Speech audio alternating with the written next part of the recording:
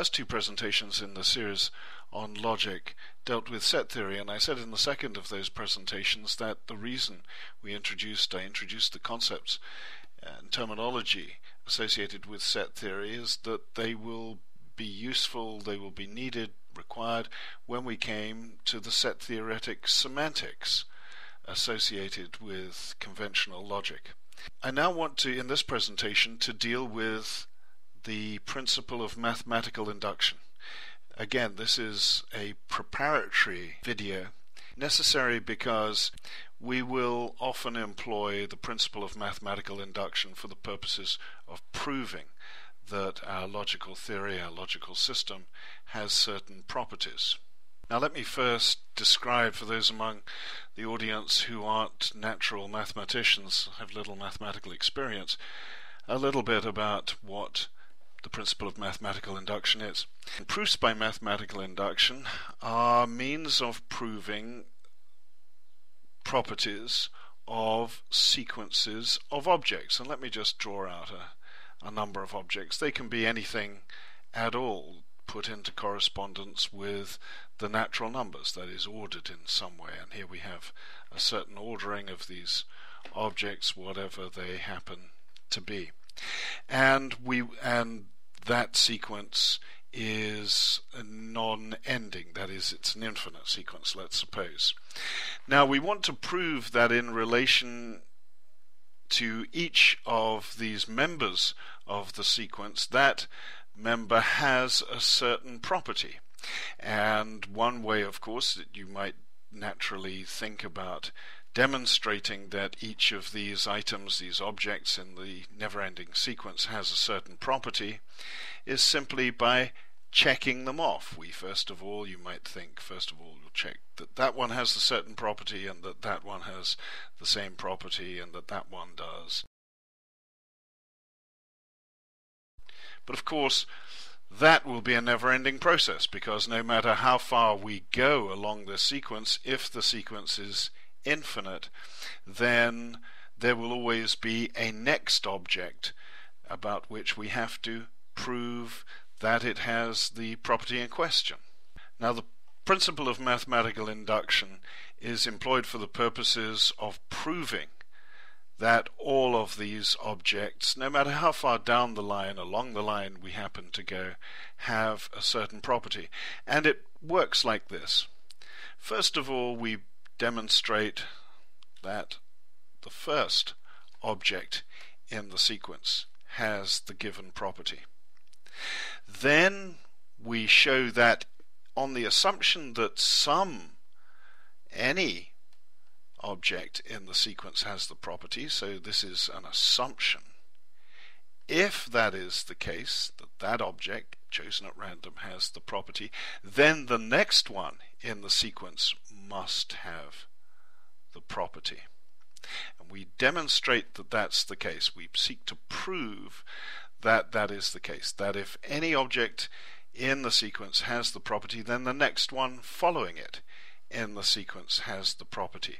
And on that basis, having previously established that the first object in the sequence has the property, we're done. Because if the first object in the sequence has the property, and we've just shown that it has, and if it's the case that for any object in the sequence then the next one has it, well, then if the first one has it, then by this entailment the second one has it. And if the second one has it, and I'll here draw a green circle around it to show that that one does. And if that one does, then again, by this principle, that if any one does, the next one does, then on that basis, this one does. And because that one has it, then the one immediately following it has it. And so on and so on until we get here. That one has it. And then the next one does. And so on and so on. All the way along the line, or as far along the line as we care to go, because of course this sequence is never ending. That is the principle or an, or an application of the principle of mathematical induction. For the purposes of proving that all elements of infinite sequences have certain properties, then we show again by way of step one. The first does, the first does, and then step two, if any does, then the next does. And those two together can be employed for the purposes of rolling out, as it were, a proof all the way along this never-ending sequence, as far along it as we care to go. Now in the written materials that accompany this course there are a number of examples of uh, proofs by mathematical induction, simple proofs by mathematical uh, induction, and there are a number of exercises for you to go through in order to hone your skills in proofs by mathematical induction. And it is certainly true that there is one secret to, and only one secret uh, to becoming proficient in proofs by mathematical induction, and that is practice, practice, practice, practice. But uh, for the purposes of this video, let me just apply what we've described here uh, for the purposes of a, a proof of a very simple proposition. And that proposition is going to be this, that the number 2 and every second integer thereafter thereafter is even. So let's write out the sequence comprising starting with 2 and including at each step the second integer thereafter. So the first one, as I say, the first element in the sequence is, as I say, 2, and then we have 2 plus another 2, 1 times 2. And then we, for the next in the sequence, we have yet another 2, uh, which is 2 plus 2 times 2.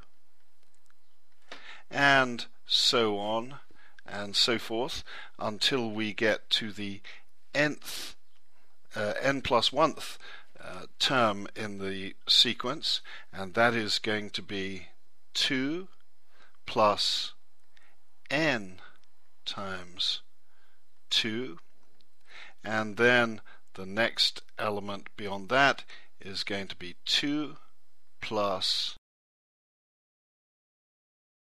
n plus 1 times 2 and so on and so on all the way up as far as we care to go. Now by the two steps in mathematical induction that are set out here, it's required first of all to, and I'll just change color, to show that the first element of the sequence is even. Well, we know.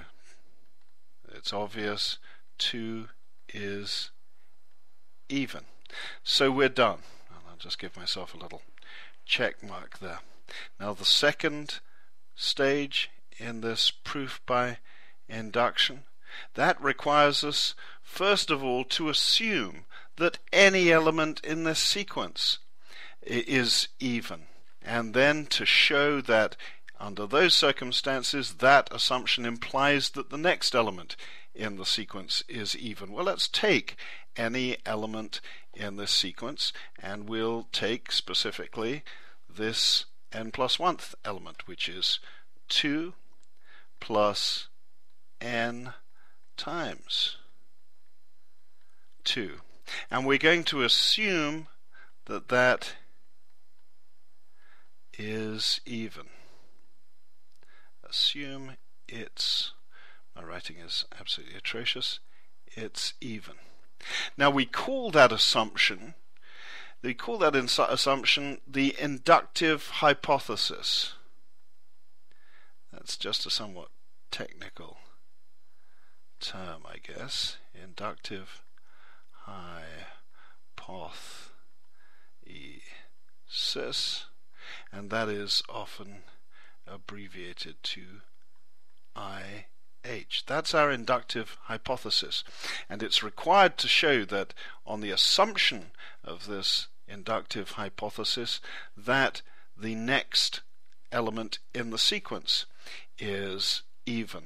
So let's look here at what 2 plus n times 2 is. Well, we can simplify it. It's a matter of simple arithmetic. That is n plus 1 2's.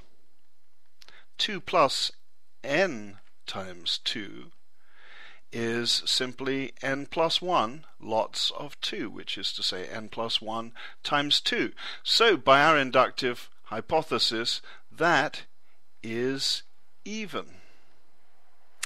But if that is even, then that plus 2 is even, which is to say that if that is even, then 2 plus n plus 1 times 2 is even. But you'll notice that 2 plus n plus 1 times 2 is simply the next term in the sequence. So we know that if this term is even, then the one following it is even regardless of what n happens to be for any value of n. So we've demonstrated indeed, we've completed the second part, and we've shown that if any element does, specifically the element which is 2 plus n times 2, if that is indeed even, then the next element in the sequence is even. So again, going back here, we know that this is even, then since it is the very next one in the sequence is even, and because that is, then the next one in, the sequence is even, and all the way down the line, we are, in other words, done, and for that I'm going to give myself two nice red check marks. Now again, this is a very simple example to give you some feel for the way in which proofs by mathematical induction work. This is not the only means of undertaking a proof uh, by mathematical induction. For more information, I refer you to the written materials which accompany this course. And as I said previously, those written materials contain exercises and some additional background which will help you to gain some proficiency in mathematical induction, or proofs by mathematical induction, which we will be using quite widely when we come to, as I say, proving things about the logic that we are now going on to define.